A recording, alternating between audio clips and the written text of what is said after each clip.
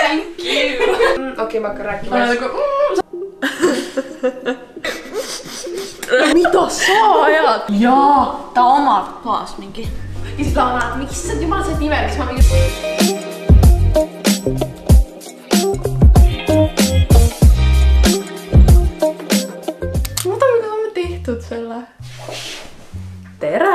No nii, tervist, tere tulemast Seinast seina podcasti viienda või kuuenda episoodi kaadritagustesse. ma isegi ei tea kas see, mis täna või no te ilmselgelt näete pealkirjast, mis siin toimuma hakkab, aga lihtsalt nagu ma isegi ei tea, kas see on imelikum meile või on seda imelikum vaatajana vaadata. see, mis siin kanalil täna toimuma hakkab, see on nagu mingi rewind kolme aasta tagusesse aega siin kanalil. ma käisin siin actually viimati suve lõpus. Jeesus. kaks asja, kaks asja on ka asjad. Need on ainult siis ilusad, kui sina peal oled ilus. ja see nagu kõige haigem ongi, et siuke tunne nagu vahepeal poleks aega mööda läinud. ma arvan, see koht, kus sa siia pead tulema. ühesõnaga, me otsustasime, et äh, oleks ju pull, kui me äkki üle kolme aasta koos midagi siia kanalile teeksime, aga vot nüüd me oleme kindlad, et seda ei tee. Kui ma olen kellegagi midagi piinlikut internetis teinud, siis see on selle inimesega. kui me viimati siin olime, me olime nii väiksed mõlemad. nüüd me oleme nagu suurteks preilideks kasvanud ja nüüd on nii imelik. okei okay., ma kardan, mis siis juhtuma hakkab, see on kõigest video intro, ma pean rahunema.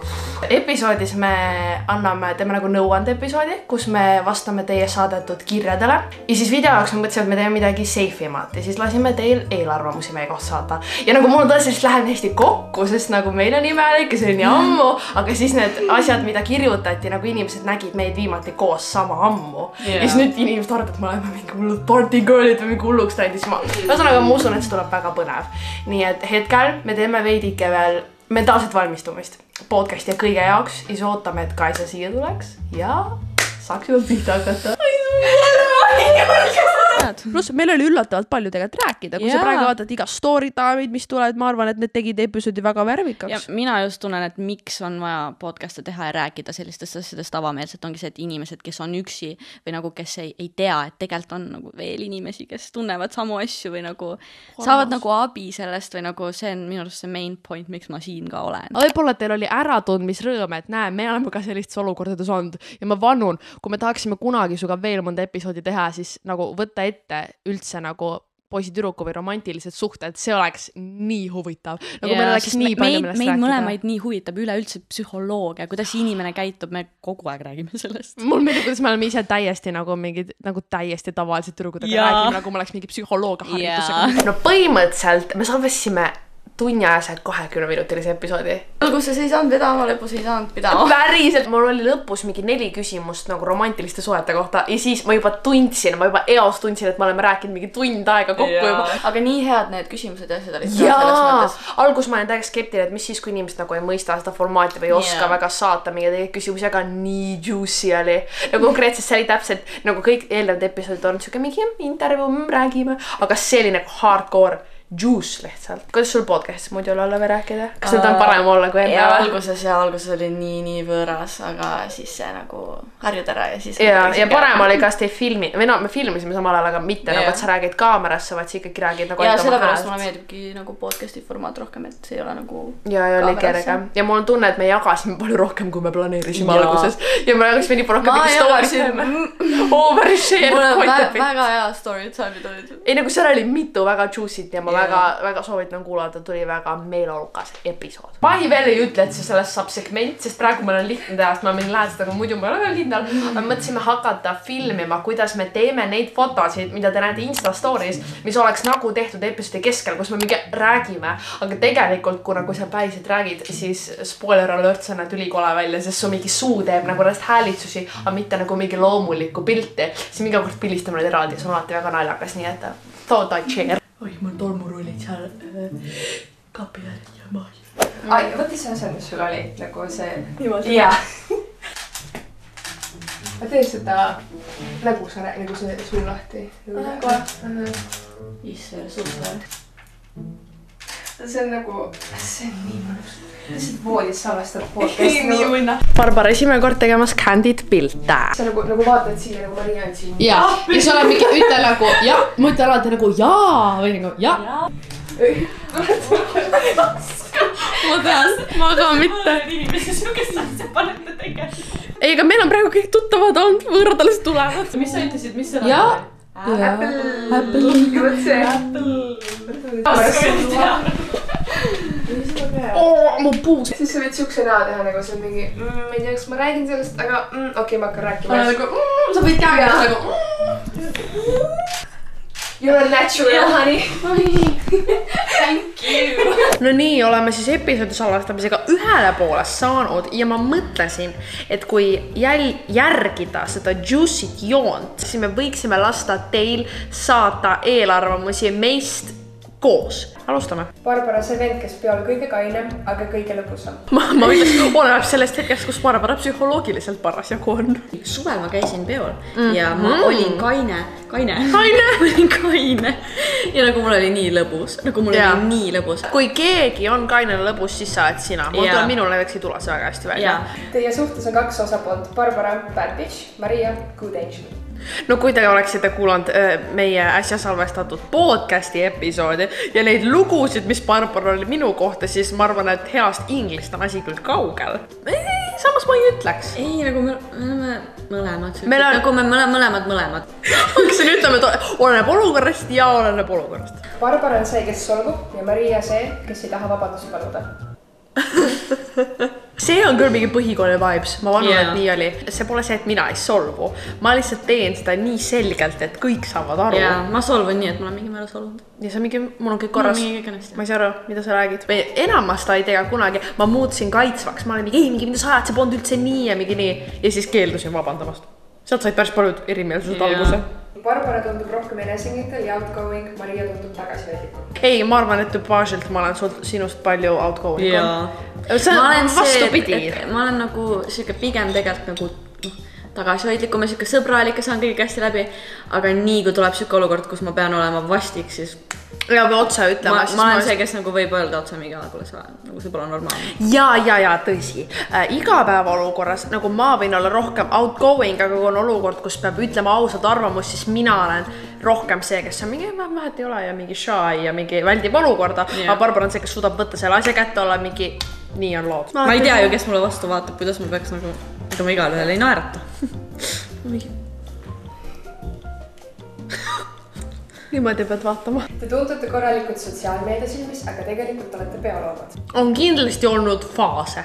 Ja me oleme täpselt need, kellel on faasid, kus me oleme mingi davai. Ja siis on faasid, kus me oleme mingi kodus, iga nädalavahetus, kogu Min- Min... aeg ja siis oleme Facetime'is mingi, oo nii tore on kodus olla, kes viitsib peol käia. suvel ma olin hull ja siis nii kui september kukkus, ma olin kodus, ainult kodus. aa, kui küsimusest lähtuda või sellest ähm, eelarvamustest, me sotsiaalmeedias oleme korralikud, aga tegelikult peoloomad. ei nagu ma ei, nagu mul on tunne praegu, kui meil ongi mingi lõbus õhtu on, meil on mingid pildid nagu me ei ole, et aa, me ei jaga, et inimesed mõtlevad, et Jaa. me peol käime. nagu eriti nüüd nagu meil ei ole mingit põhjust, miks seda varjata või nii, nii et ma ei ütleks seda. minul vähemalt endal on tunne, ma kindlasti ei ole mingi hull peoloom kogu aeg ja meil on samamoodi, meil on mingid faasid, kus me reaalselt mingi loeme luulet kodus reede õhtul. luule, elu.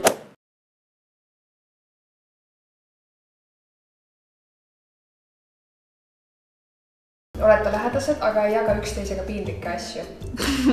väga vale. ma tahaks nii palju tuua näiteid, mis asju ma jaganud olen. on nagu see tavaline sõbrannade asi, millest te räägite, onju. ja siis on need, et nagu, me räägime päris paljudest asjadest mm -hmm. ja siis sa juba arvad, et sa räägid paljudest asjadest, aga sa tead, te kõik teate, et on mingid teemad, mida sa nagu, issand, ma temaga küll ei räägiks, nagu kõige mingid imelikumad detailid mingitest asjadest või, või ab absoluutselt nagu Jaa. kõigest. nii et ma ütleks, et see on nagu risti vastupidi me ikka nagu räägime väga-väga. ja me oleme siuksed ka, kes nagu mõtlevad sama absurdsetele asjadele Jaa. nagu mõni inimene võib-olla üldse ei oskagi kaaluda mingit asja, mille peale meie oleme mingi huvitav, kuidas teistel on või midagi siukest. Jaa. nii et vastupidi, kindlalt räägime kõike. mõlemad brünetid, aga mõtlevad nagu blondiinid.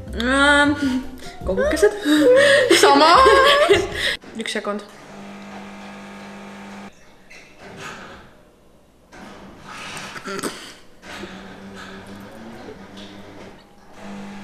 nii kaua.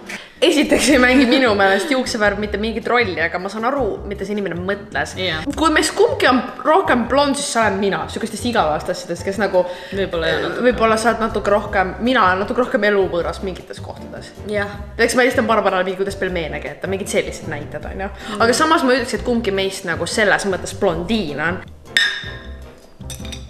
varjate oma tegelikke emotsioone teiste eest. Selle auhinna võtan mina endale. ma täiega tahtsin seda auhinda praegu võtta, aga see ei ole vist mina tegelikult. minu puhul on see hullem nagu, sest mina teen seda ka oma tuttavatele ja nagu nendele, kellega ma olen hästi nagu close. jaa, aga ainsad inimesed, kellele me seda ei tee, oleme meie ise. vahemärkus, mul tunne, kui ma oleks mingi coffee shop'is istuks. okei okay,, jätkame. Maria tundub selline, et ärkab kell kaks päeval ja sööb ja läheb magama tagasi. Mis seal Tiktokis on, et see on mingi rare aesthetic või et äh, Aa, jah. nagu see on reaalselt rare aesthetic, mina, kui ma olin viisteist, kuulake podcast'i, et lugu kuulla selle kohta äh,. ma tegin seda reaalselt mingi kolm aastat tagasi. tere hommikust kõigile, kell on kaksteist kolmkümmend seitse. sul on ainult see, et sa mingi vahel magad kaua, ja nädalavahetuseti vahel, aga, Aga ma ei ole salilt nagu see päeval ma ja, ja ma, ma, ma insertin mingi vlogi klipi või midagi, mis illustreeriks seda, sest see oli konkreetne, nagu mul tuleb täpselt kindel aeg ja esteetika meelde. kas te saate aru, mis? täna on järgmine päev, laupäev, kahekümne neljas september, kell on üksteist viiskümmend kaheksa. nii et jah, kahjuks olin mina, aga mitte enam, kindlasti mitte enam. Barbara tundub peoloog ja Maria kodune. see on jälle, kõik oleneb ajast. see iseloomustab viimast aastat, mul on tunne. ja mul on tunne, et mina olen muutunud hästi laisaks ka, kui pidutsemine võtab kuskile minemist, mingi pileti ostmist. ei, ma ei viitsi, ma võin nagu mingi kodus mingi lõbus asja teha või kui keegi oma juures teeb, no ilmselgelt mitte praegu, aga kui me räägime üldiselt mm, -hmm. aga sa oled rohkem see, kui sul on tuju, et lähme, teeme, vaatame, oleme, ma olen rohkem nagu jaa. The baddest bitches alive. konkreetselt. ei, vahepeal on niimoodi üldsegi, et me oleme mingi jee, jee, mingi oleme bad bitch'id, mingi vau-vau, aga siis on nagu, oletame, et äh, oletame, et asi on näiteks äh, mõnes poisis või mõnes siukses olukorras, siis oleme mõlemad mingi oo, jee, jee, jee, aga siis tegelikult sa oled nagu nii hullult mingi simbimeest. jaa, see ongi kogu vastus lihtsalt. Iga pidu need tüübid, kes meeste asemele pigem tantsupõrandat soojendavad. jaa, jah, aga nagu tantsupõranda osas mina ei ole nii julge kui see tädi. käisin siis- ühel peol Raplas. mida sa ajad, ma ei tantsinud Raplas. ja siis, kui valmis, me ka kõik hüppasid keskel. nagu ta on see hüppaja, ta on mingi, jaa ta omab faas mingi. ja siis Laura, et issand jumal, sa oled imelik, siis ma mingi. Näiteks kui midagi läheb vilesti, episood saab tehtud üles ja siis sama episoodi lõpurõõmu tantsima. Happy hormoonid on ka. tema võib siukestel kodupidudel tantsida, mina Jaa. kodupidudel nii väga ei tantsi, aga kui ma lähen mingi äh, kuhugi festivalile Või klubbi või siuksesse kohta seal ma olen hull. kui seda eelarvamust vaadata, siis me ei ole kunagi olnud tüübilt need, kes peol nagu meestega sahkerdaksid, see ei ole meie, meie Ei, cup of tea. meie nagu- esiteks, see on liiga sass minu meelest, teiseks nad on niikuinii kõik purjus, ehk see ei loe ja see ei lähe arvesse ja me teeme nalja nendega. ja me me ei oska seda väga hästi, nii et me pigem, pigem oleme need tantsijad jah. teete ilgelt palju japsi koos. ei, me nagu, oleme nagu igast jamast läbi tulnud. ei kusjuures meil on hästi palju neid hetki, et kuidas sihuke asi võimalik on või kuidas selline asi juhtunud on. kogu meie see mingi, see aeg, kui ma tegin üliaktiivset vlogi siin ja siis me mingi vlogisime absoluutselt kõike ja siis me vaatame neid ja oleme nagu kuidas, kuidas see, kuidas see ei, meil võimalik kas ei oli olnud elu. kuidas, ei, ei, ei nagu vahepeal ma, ma, ma, ma, meil on alati nii, et kuna me ei näe tihti, siis kui me kokku saame, siis alati juhtub midagi Jaa. selle koha pealt jampsitame küll koos. Püha Peetrus, ma ütlen. no see on siis kõik, eelarvamused said meil otsa, kohv minul samuti, nii et on aeg see video kokku tõmmata. ja ma loodan, et teil oli lõbus, ma loodan, et teil oli tore, minge kindlasti kuulake meie episoodi, nagu ma ka mainisin, sinna tuli nii palju spontaanseid lugusid vahele Jaa. ja meil üldse see rääkimine sujus päris hästi ja see oligi selline nagu parimate sõprade vaheline vestlus, aga samal ajal andsime ka nõu, nii et üks mu lemmikepisoode siiamaani. on sul veel mingeid viimaseid sõnu öelda? kolme aasta pärast. konkreetselt, nagu ma, ma kardan, et pärast seda Barbara ei tule enam siia kanalile tagasi, nii et jätke palun head tagasisidet. ja minuga näeme juba järgmisel nädalal uue videoga. tšau.